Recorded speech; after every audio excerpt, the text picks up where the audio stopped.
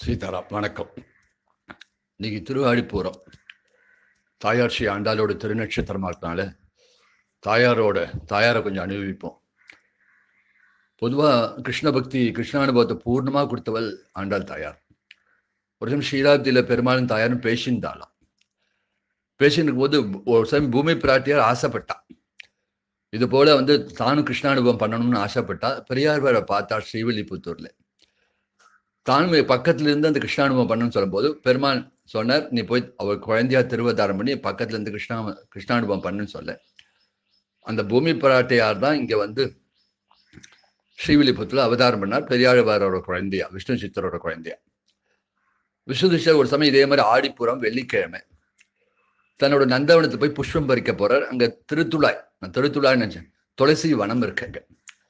துளசி திருத்துழாய் பறிக்கிறது போகும்போது அந்த திருத்துழாய் அந்த துளசி செடி அடியில் ஒரு அழகான ஒரு பொன் குழந்தை நல்ல அழகாக தேஜஸ்ஸா சுறுசுறுவான கட்டு கேசம் நல்ல கட்டு கேசத்தோட ஒரு குழந்தை இருந்தது ஒரு பொன் குழந்தை பார்த்தோம் ரொம்ப சந்தோஷப்பட்டார். அந்த குழந்தை அந்த கட்டுக்கட்ட அந்த கு- கேசத்தை பார்த்தோன்னா குழற்கட்டு நிறையா இருந்தால அந்த குழந்தைக்கு கோதைன்னு ஒரு பேர் வச்சார் அது முதல்ல இந்த புஷ்பத்தோட்டில் அந்த குழந்தை பிறந்ததோண்டு புஷ்பத்தோட்ட புஷ்ப மாலைக்கும் கோதைன்னு ஒரு பேர் உண்டு.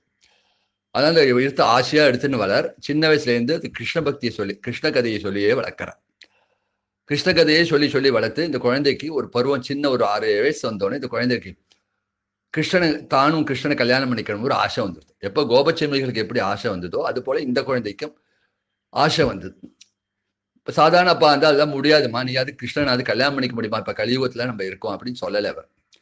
தாராளமாக பண்ணிக்கலாமா? ஏற்கனவே அவள் கோபச்செருமிகள்லாம் ஒரு நோன்பு நோத்திருக்கா. அதுக்கு பேர் காத்தியானி தேவியை உபாசிச்சு ஒரு நோன்பு நோத்திருக்கா அதுபோல் அவ அது அந்த அவ நோன்பு வந்து கிருஷ்ணன் அடைஞ்சிருக்காமான்னு சொல்லி இந்த அதுலேருந்து அவ திருப்பாவை பண்ண ஆரம்பிக்கிறாங்க.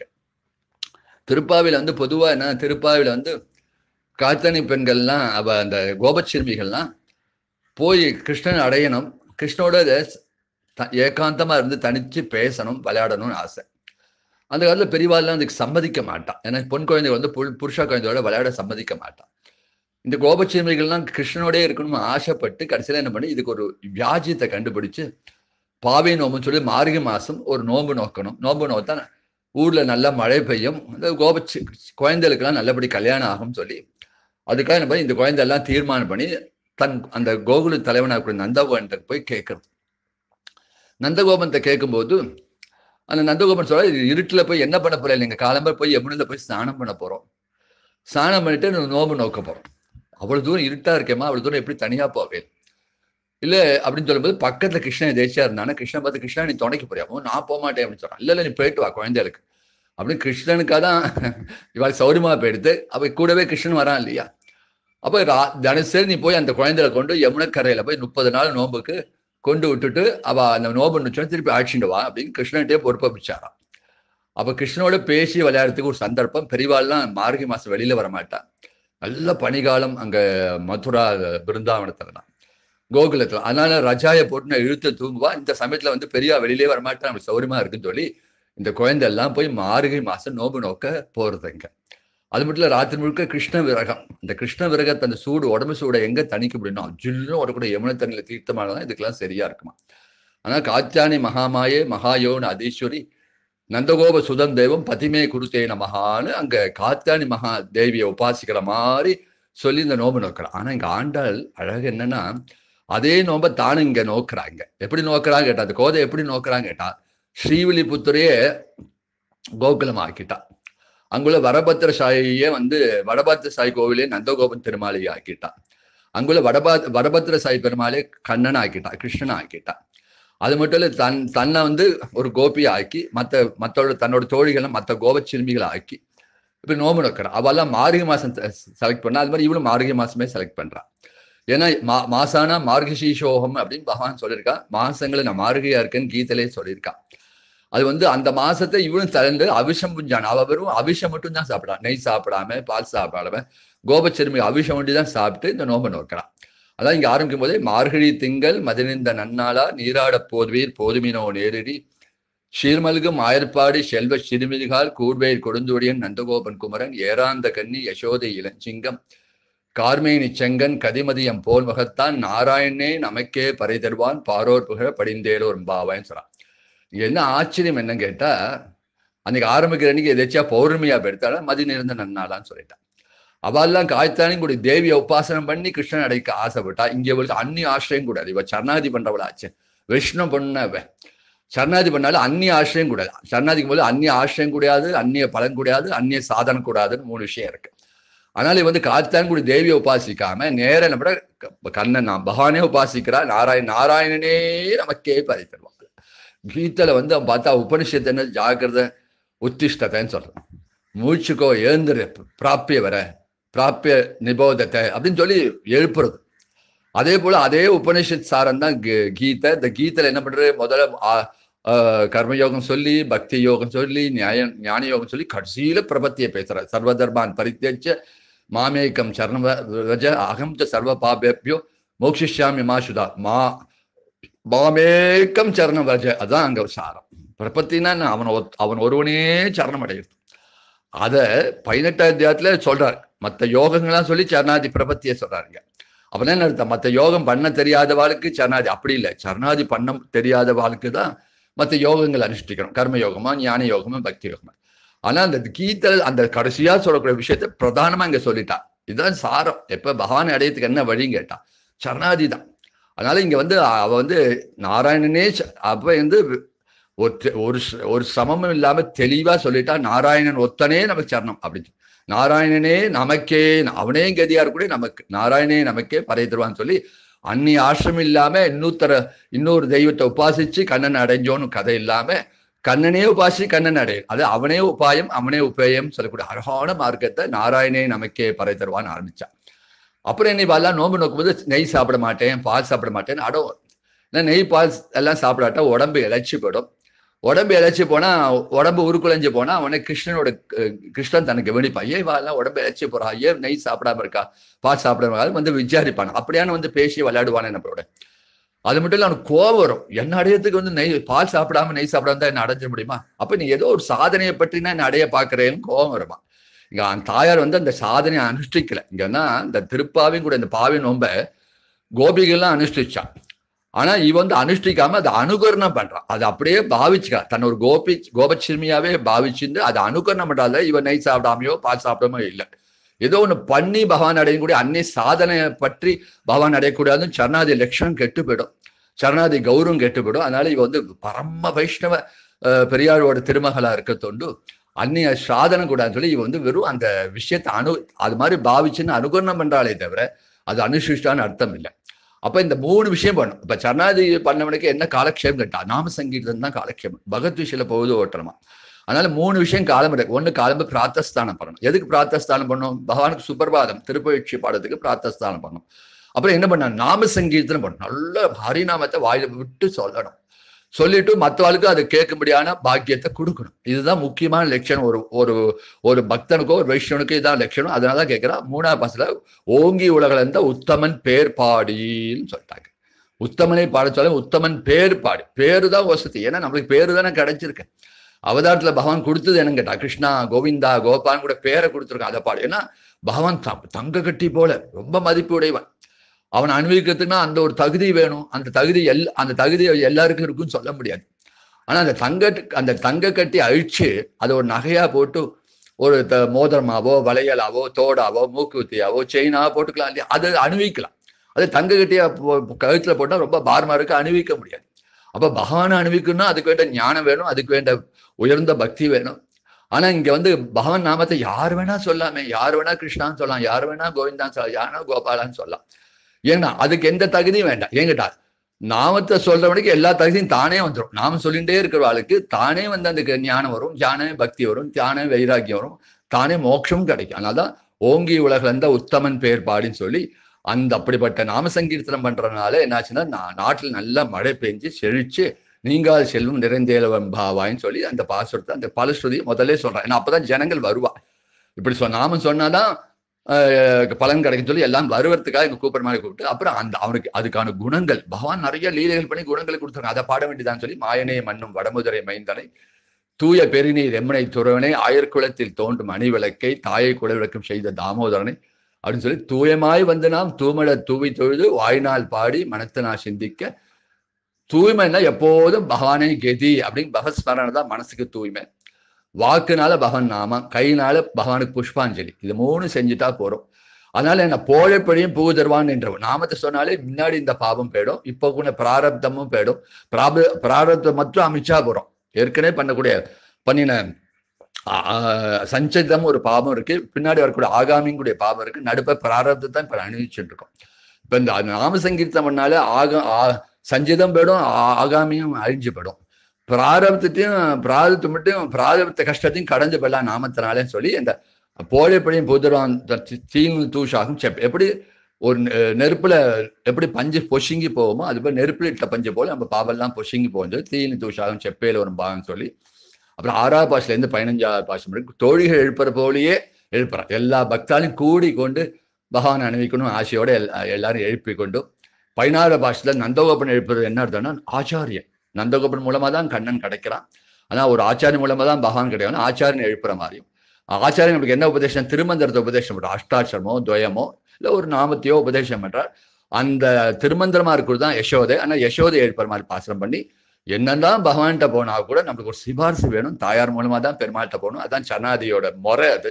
ஆனால் பதினெட்டாம் பாஷல உந்து மதத்திலேருந்து மூணு பாஷல தாயாரான நப்பினை எழுப்புற மாதிரி பாசுடுத்த அமைச்சு அப்புறம் கிருஷ்ணனை எழுந்து சுப்பிரபாதம் பண்ணி மாறி மழை முடிஞ்சின் மன்னிக்கிறவங்க கிருஷ்ணனை எழுந்து வரும்போது அவன் திருவடிக்கு பல்லாண்டு போறான். அன்னைக்கு அன்னைக்கு அன்று உலகம் வளர்ந்தா அடி போட்டின்னு சொல்லி அன்னைக்கு உலகத்தை அளக்கும்போது உன் திருவடி எவ்வளவு நோகி இருக்கோ அன்னைக்கு நாங்க வந்து உங்க பல்லாண்டு படாம போட்டோமே சொல்லி அந்த திருவடிக்கு பல்லாண்டு பாடி அவர் ஒருத்தி மகனாய் பிறந்தேன்னு சொல்லி அப்புறம் நோம்புக்குள்ள உபகரணம் கூட அவங்ககிட்ட தான் பெறான்.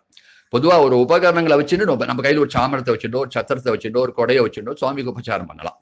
ஆனா அப்படி இல்லை. பகவான் கொடுக்கணும். பகவான் கொடுத்த பொருளாக தான் எந்த வெளி பொருளும் உபயோகப்படுத்தக்கூடாது. பகவானே தன் கையால கொடுக்குற பொருளால தான் அவனுக்கு கைங்கறி பண்ணுன்னு சொல்லிட்டு இந்த மாறி அந்த வந்து அந்த பாசல மாலே மணிவண்ணா பாசத்துல கேட்கிறான். இந்த சுடர் கோல விளக்கே கொடியே விதானமே ஆளிலையா அருளேலும் அது சொல்ல இங்க இருட்டா இருக்கு எங்களுக்கு விளக்கு வேணும். விளக்கு வேணும்னா இவ எதை கேட்கிறா? ஒரு விளக்கு ஏற்றுன்னு போய் கிருஷ்ணனை போய் பார்க்கணும்னு நினைக்கல. விளக்கு வேணும் ஒரு விதான் வேணும் மேல்கட்டி வேணும். ஏன்னா பனி விழாமல் இருக்க மேல்கட்டி வேணும். பல்லாண்டு பாரத்துக்கு நிறைய பக்த கோஷ்டிகள் வேணும். அப்புறம் கொடி வேணும். இப்படிலாம் கேட்கறா அந்த கொடியெல்லாம் எதை நினைச்சா எது கிருஷ்ணன் எதோ எதை கேட்டா உங்க உங்ககிட்டேருந்தே எனக்கு கிடைக்கணும் அப்படின்னு சொல்லும்போது கோல விளக்கு தன் தாயார் நப்பினையே கொடுக்குறானா நீ போ. ஏன்னா தாயார் வந்து ரொம்ப பிரகாசமா இருப்பா. அவன் முன்னாடி போனாலே பிரகாசம் வந்துடும் வெளிச்சம் வந்துடும் அப்படின்னு தாயாரை கொடுக்குறானா. கொடிக்கு வந்து கருட தன்னோட கெடக்கூடிய கெடத்வஜத்தை கொடு கெடக்கூடிய கொடுக்குறானா? அதுக்கப்புறம் இந்த வந்து விதானம் வேணும்னு சொல்லி தன்னோட மேல் உத்திரியத்தை கொடுக்குறானா? அதே போல பல்லாண்டு சிப்பாருன்னு சொல்றதுக்கு பெரியாள் வரையும் அனுப்புறான். அவன் அப்பாவே நான் அனுப்புறேன். அவர் ஒத்திருந்தா கோடி பேருக்கு சமான்னு சொல்லி பல்லாண்டு படம் பல்லாண்டு அனுப்புறாராம் கோல விளக்கே கொடியே விதானமே ஆளின் இதெல்லாம் அவன் கொடுத்து அவன் கொடுத்த பொருள்னாலே அவனுக்கு கைங்கரியம் பண்ணணும். அவன் பொருள் அவன் பொருளை தவிர மற்ற பொருள் ஒவ்வொரு அவன் அவன் சம்மந்தம் இல்லாத எந்த பொருளும் உபயோகப்படுத்தக்கூடாது. அப்படி ஒரு த தர்மம் ஆண்டாளுக்கு உண்டு அப்படி இந்த அந்த மாலை மணி மாலை அனுப்பிச்சா. அப்ப இந்த கோபச்சிரமா எனக்கு வலை வேணும் தோடு வேணும்னா கேட்டுது இந்த குழந்தைங்க ஆனா இவ என்ன கேட்டா அதெல்லாம் அவசியம் இல்லை. ஏன் என்ன வேணும்? எதுக்கு எப்படி வேலை வேணும்னு கேட்டா? ராமர் ராமர் பட்டாசியம் போது வாயு பகவான் வந்து முத்துமாலி வந்து கொண்டு கொடுக்கும்போது அந்த சீத்தை கையில ராமர் கொடுக்க சீத்தை வந்து ஆஞ்சனி கொடுக்க ஆசைப்பட்டாலாம் அப்ப ஆஞ்சனியும் சீத்தையும் சேர்த்து ராமரும் சீத்தையும் சேர்த்து ஆஞ்சனிக்கு பூட்டி விட்டாலாம் அதுபோல் நீனும் நப்பினையும் சேர்ந்து எங்களை பூட்டி விடணும். நீனும் தாயாரும் சேர்ந்து பூட்டி விடணும்னு சொல்லி அங்கதான் கேட்டால் தோடே செவிப்பூவே பாடகமே என்கிற பல்கணம் யாமுடிக்கும். இன்னைக்கு வந்து அழகா கையை வந்து பிடிப்பேன். அந்த கைக்கு நீயே அந்த வளையல் போட்டு விடணும். நீ அந்த அந்த தோலை அணைப்பேன் அந்த அணைக்கும் போது தோலுக்கு நீயே அந்த பூஷணங்கள் போடணும். இந்த அணைக்கும் போது எங்க காதை பார்ப்பேன். அந்த காதுக்கு நீயே தோடு போடணும். அதுக்கு மேலே ஒரு செவி போடணும்.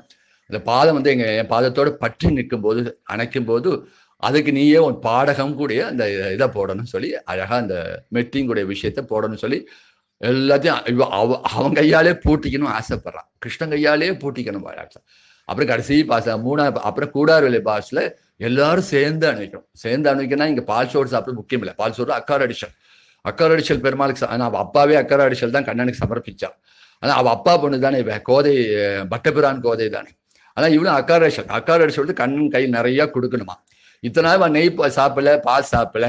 இப்ப நிறைய புது வஸ்திரங்கள்லாம் போட்டுவிட்டான் அவன் பீதாம்பரத்தை இடுப்பு பீதாம்பரத்தையே கொடுத்துட்டான் வஸ்திரமா. அதே அதே தன்னோட வஸ்திரமா தரிச்சுட்டான் அப்ப சாப்பிடணும். அதுக்கப்புறம் எல்லாம் அலங்காரம் அப்புறம் சாப்பாடு உண்டு அமுது உண்டு. இந்த அமுதுக்கு என்ன? பால் சோறு. பால் சோறு கிருஷ்ணன் கையில கொடுக்கணுமா? கிருஷ்ணனை பார்த்துட்டு இவன் சாப்பிடக்கூடாது. கிருஷ்ணன் கையில கொடுத்து அவன் சாப்பிடும்போது இவன் கையில அந்த தன்னோட பால் சோடை வச்சுட்டே இருக்கிறது அது பால் சோறுல உள்ள நெய் மூட வழியணுமா? இப்ப இங்கே இங்க க- பால் அந்த அக்காரேஷ சாப்பிட்றது போ- போக்கியம் இல்லை. கண்ணனை பார்க்கறது தான் அ- அந்த அனுபவம் தான் போக்கியம் சொல்லிட்டு அப்ப கூட கண்ணன் கண்ணன் சாப்பிட்டு நாம் பார்க்கணும் அப்படின்னு ஒரு சந்தோஷத்துல அந்த பால் ஆசைப்படுறா. கண்ணனோடு சேர்ந்து சாப்பிடும் கண்ணன் சாப்பிட்ட எ- மிச்சத்தை சாப்பிடணும் உத்கிருஷ்டத்தை சாப்பிடணும். அந்த பவழ்வாய்ப்பட்ட அந்த பால் சோறு அவன் இந்த- நீயே பார்த்துட்டு இருக்கேன். கொஞ்சம் தான் பால் சோறு கொஞ்சம் சாப்பிடுங்க கொஞ்சம். வச்சு சாப்பிடுங்க அவன் கையால் கொடுக்கணுமா? சாப்பிடணுமா? எல்லாம் அவன் கையால் தொட்டு கொடுத்து தான் வாங்குவான். அந்த காலத்தில் ஒரு பழக்கம் இருந்தது. ஒரு ஐம்பதாறு வருஷம் முன்னாடி எங்கள் அம்மாலாம் அப்புறம் யார் வெளியில யார் எந்த புருஷா கொடுத்தாலும் பூ வாங்கிக்க மாட்டான் தன் பர்த்தா கையால் தான் பூ வாங்கிக்கணும். பூக்காரனே வந்தால் கூட வாசல் வச்சுட்டு போப்பான்னு சொல்லுவான் அப்புறம் தான் எடுத்துப்பான். அப்போ இன்னொரு புருஷன் கையால் தொட்டு வாங்குற பழக்கம் கிடையாது. அதுபோலதான் இந்த தாயாரோட அப்படி ஒரு தன்மை அந்த பிரேம பக்தி உச்சத்துல இருக்கனால கிருஷ்ணனோட எந்த சம்ம கிருஷ்ணன் சம்பந்தம் இல்லாம எதையும் உபயோகப்படுத்தக்கூடாது. அப்புறம் கடைசி இருபத்தி ஒன்பதாம் பாட்டுல சரணாதி பண்றா கறவைகள் கறவைகள் பின் சென்று கானம் சேர்ந்து உண்போம் அறிவுண்டும் இல்லாத ஆயகத்துல எங்கிட்ட வந்து ஞானம் இல்லை பக்தி இல்லைன்னு சொல்ல நாங்க மாடு மேய்க்கிறவா தான் ஆனால் அறிவு கிடையாது. காட்டுக்கு போய் தபஸ் பண்ணும் நாங்கள் போல எங்களுக்கு வைராக்கியம் கிடையாது. அங்கே போய் சாப்பிட தான் பார்த்தோம் எங்களுக்கு உங்களை கிட்ட பக்தி பண்ண தெரியாதுன்னு எல்லாத்தையும் சொல்லி ஆனா இவ்வளவு குறையோட இருக்கையில கேட்டான் ஆனா நீ வந்து எங்க மத்தியில வந்து பிறந்து உங்களோட ஸ்மரணை கொடுத்து எங்களுக்கு பாக்கியத்தை கொடுத்துருக்கே புண்ணியத்தை கொடுத்துருக்கே. ஆனால் ஆனா உனக்கு குறைவொன்றும் இல்லைன்னு சொல்லி குறைவென்று இல்லை குறைவொன்று இல்லாத கோவிந்தான்னு சொல்றான்.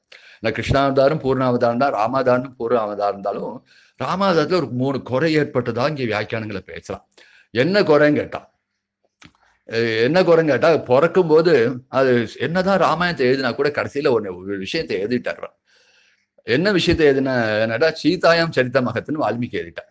சீதை ஒரு பத்து மாசம் அசோகவனத்துல பந்தப்பட்டதுனால ராமருக்கு சீதைக்கு பெருமை வந்துடுத்து அப்படின்னு தோணித்தாங்க எனக்காவது அவ போய் அங்க போய் பந்தப்பட்ட மாதிரி நடிச்சா அதனால ராவணவதம் நடந்தது. ஆனா பெருமை அவளுக்கு போயிடுத்தேன்னு நினைச்சாராம்.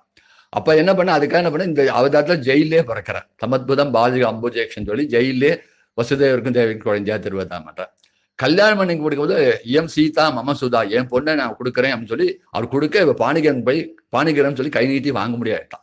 ஒருத்தன் கொடுத்து நம்ம வாங்க முடிய ஆயிடுத்தேன்னு நினைச்சாராம் அது குறையா இருந்துதான் அந்த குறைய தீர்த்துக்கு தான் கிருஷ்ணா அவதாரத்துல யாரும் கொடுக்க வேண்டாம் அவர் கோவிலுக்கு அவ கௌரி பூஜைக்கு வரும்போது கோயிலேருந்து அவ அப்படியே அவர் ரதத்துல கொண்டு வந்து அப்படியே தூக்கின்னு வந்து அவளை துவாரைக்கு கொண்டுட்டான் யாரும் கொடுத்து தான் வாங்கிக்க வேண்டாம்னு சொல்லி கூட ருக்மணி கலை ருக்மணி அஹ், இதும்போது நடத்தின்ட்டாங்க மூணாவது விஷயம் என்ன அப்படின்னு கேட்டா மூணாவது விஷயம் வந்து பட்டாபிஷேகம் போது. பட்டாபிஷத்தை அபிஷேஷ நரவியாகிரை பிரசன்னேன சுகந்தினா சலிலேன சகஸ்தாஷம் வசோ வாசம் ஏத்தான்னு சொல்லும்போது அஷ்ட வருஷங்கள் எப்படி இந்திரனுக்கு அபிஷேகம் விடா அது போல இங்க அஷ்ட ரித்துக்கள் ராமனுக்கு அபிஷேகம் விடுறா. இந்திரன் அபிஷே அப்- போல நடந்ததுன்னு சொல்லிட்டான்.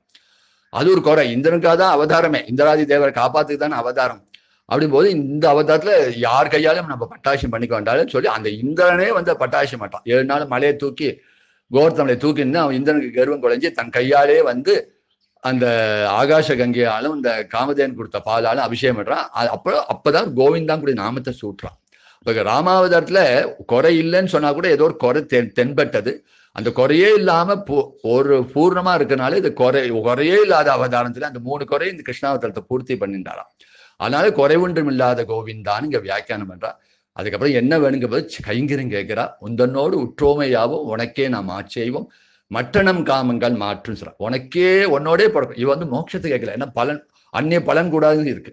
சரணாதி பண்ணிட்டு அந்நிய பலனும் கூடாது. அப்ப பலன் கூடாதுன்னா என்ன பண்ணுறதுன்னு கேட்டா அவனுக்கு கைங்கரியம் மட்டும் தான் பலன். இப்போ ஒருத்தன் சரணாதி பண்ண அப்புறம் காலக்ஷேபம் எப்படி ஓட்டுன்னு கேட்டான் கைங்கரியத்துல ஓட்டணும் பகவத் விஷயத்துல ஓட்டணும்னு விதிச்சிருக்கு. அதனால என்ன விட என்ன உன்னோடயே பிறக்கணும். உன் சம்பந்தத்துடைய வாழையே பிறக்கணும் எப்படி எப்படி பிறக்கணும்னா உன் சம்பந்தத்துள்ள வைஷ்ணவ குடும்பத்திலே திருப்பி திருப்பி திருப்பி திருப்பி அவாளே அவள் குடும்பத்திலே பிறந்து பிறந்து பிறந்து உன்னோட அருமை தெரிஞ்சு நாங்கள் கைங்கரியம் பண்ணிகிட்டே இருக்கணும்னு ஆசை இருக்கு.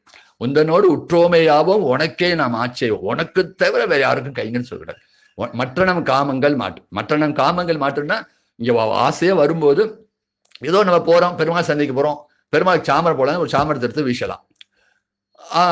வீசலாம். ஆ- பெருமாளுக்கு அப்போ சாமரம் தேவைப்படாமல் இருக்கலாம். தேவைப்படாது. ஆனா பெருமாள் நினைப்பா பாவம் வந்து இவ வந்து என் சன்னில் வந்து சாமரம் வீசுறாளே பாவம்னு சொல்லிட்டு தாட்சிணியத்தினால அந்த கைங்கரியத்தை ஏத்துக்கலாம்.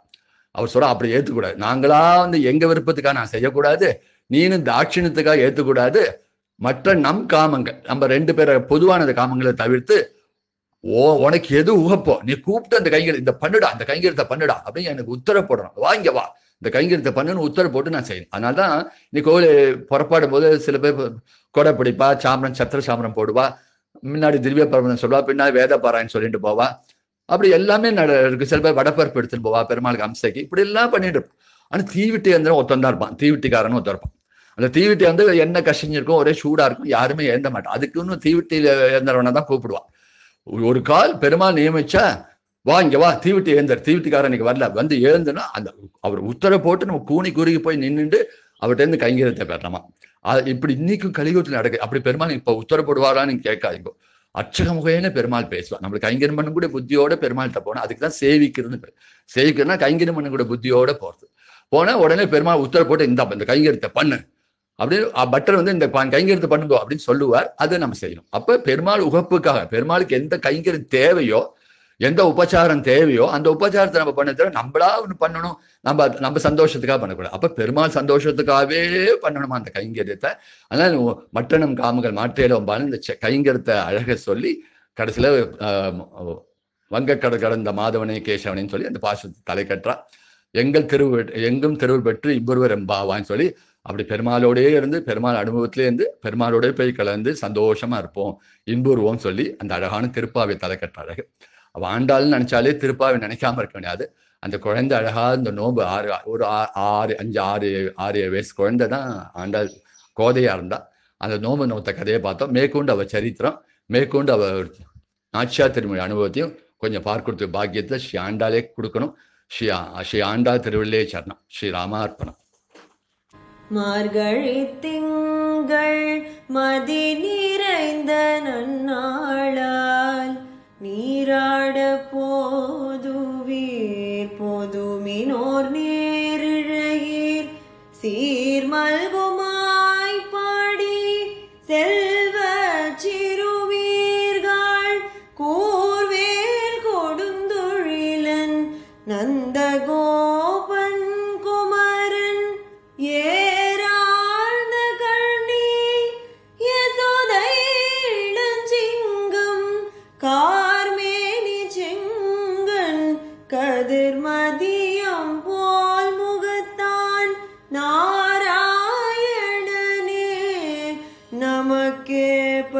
தருவான். பாரோ